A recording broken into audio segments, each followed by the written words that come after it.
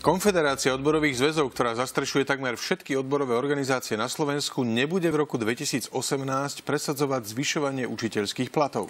Prezident školských odborov to považuje za hrubé porušenie solidarity a uvažuje o vystúpení z konfederácie.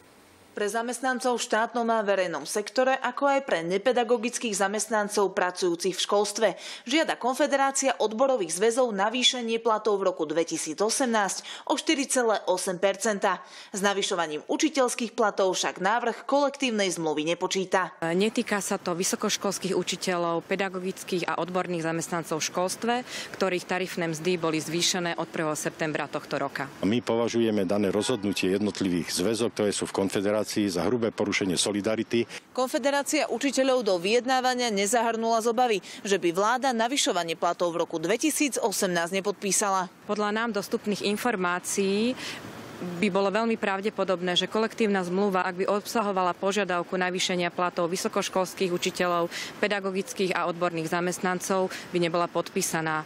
Bolo by tým ohrozených ďalších 270 tisíc zamestnancov verejnej sféry. Napriek tomu prezident školských odborov očakáva zvýšenie učiteľských platov už od januára 2018 Máme na naplnení programového vyhlásenia vlády, ktoré jasne deklaruje navýšenie platov pre učiteľov od 1. januára 2018, od 1. januára 2019 a od 1. januára 2020. A so zvyšovaním učiteľských platov počíta aj Danková SNS. Od 1. septembra 2017 platí navýšovanie platov pre učiteľov aj pre rok 2018 o 6% Ministerstvo školstva pod vedením nominantky SNS to však vidí inak a zhoduje sa s predsedom vlády. Ten tvrdí, že učitelia navýšenie dostali predčasne už v septembri a tak ďalšie v budúcom roku čakať nemajú. S ďalším navýšením sa počíta od 1. januára 2019 v súlade s programovým vyhlásením vlády.